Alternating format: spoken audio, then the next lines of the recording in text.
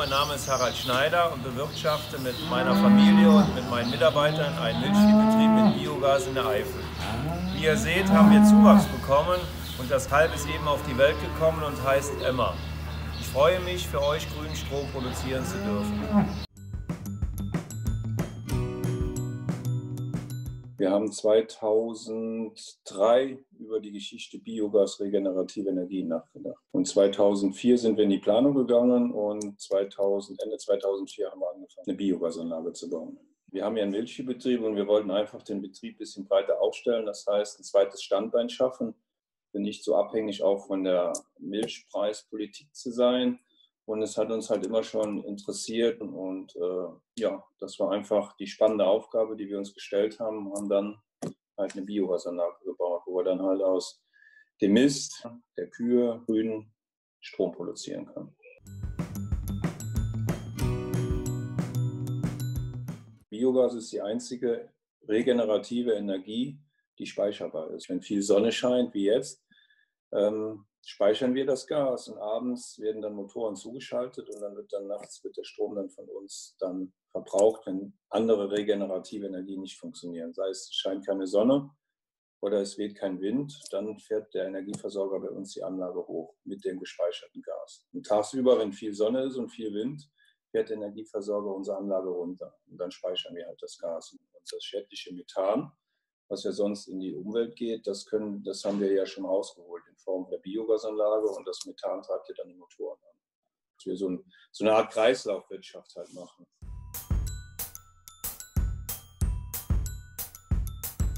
haben ist ja auch Photovoltaik. Wir haben ja auch noch 300 kW Photovoltaik, haben 60 kW Eigenstromanlage, wo auch der Strom für unseren landwirtschaftlichen Betrieb selber genutzt wird. Wir haben eine Wärmerückgewinnung im Stall, das heißt, die Milchkühlung macht auch warmes Wasser.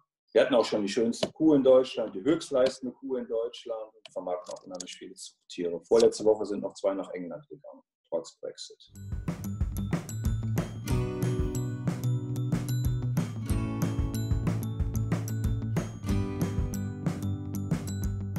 Bei uns die Kühe, die haben es besser wie die Menschen. Auch selber entscheiden, wann sie melken gehen. Die Kühe gehen dann drei, drei bis viermal am Tag sich melken lassen. Also die Kühe können bei uns frei entscheiden, alles, was sie machen. Fressen, saufen, liegen, Massage und melken. Kann die alles frei entscheiden, weil die Kühe halt frei im Stall laufen. Ich sage immer, es ist wie die Männer, die gehen für ein Bier in die Kneipe, gehen für ein bisschen Getreideschrot in den Roboter. Also die Kühe sind wie, wie Menschen halt. Jede, jede Kuh ist anders.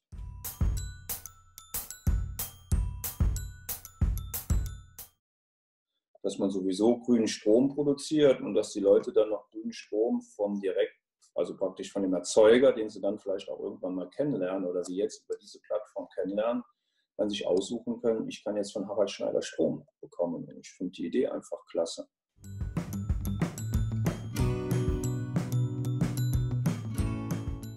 Wir haben mit sieben Biogas-Landwirten haben wir ein Pilotprojekt gestartet. Das ist einmalig in Deutschland, weil wenn die Biogasanlagen aus dem EEG auslaufen, das heißt 20 Jahre Laufzeit hatten, haben, müssen die Biogasanlagen ausmachen. Also es wird dann keine Biogasanlage mehr oder ganz wenige in Deutschland geben.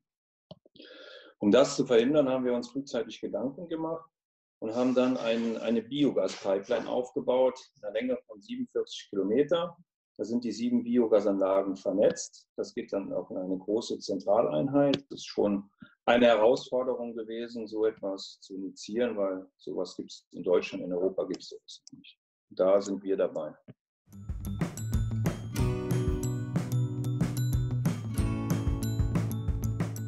Aber ich glaube, der ländliche Raum kriegt jetzt wieder neuen Stellenwert. Die gesamte Landwirtschaft. Ich meine, man sieht ja, die Leute prügeln sich wegen Klopapier. Was wäre denn, wenn mal drei Tage keine Nudeln und kein Brot da wäre und keine Milchprodukte? Der Aldi hat keine Milch da stehen, wenn ich morgens nicht in den Stall gehe und melke die Milch.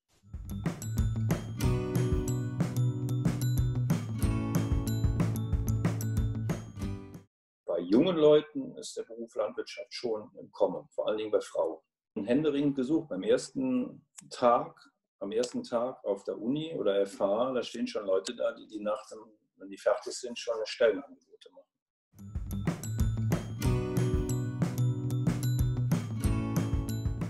Die eine ist ja neun, die andere 15, die interessieren sich dafür, die kennen auch schon Kälbchen und Wir haben hier noch als Hobby ein paar Pferde, das machen die. Und mein Ältester ist jetzt am Traktorführerschein am machen. Ich kann ja keinen zwingen, ich mache da auch keinen Druck, das müssen die nachher entscheiden. Vielleicht gehen sie auch mal woanders hin und viele kommen dann wieder zurück. Ihr müsst mal vorbeikommen, dass ihr seht, wie ein Bauernhof aussieht.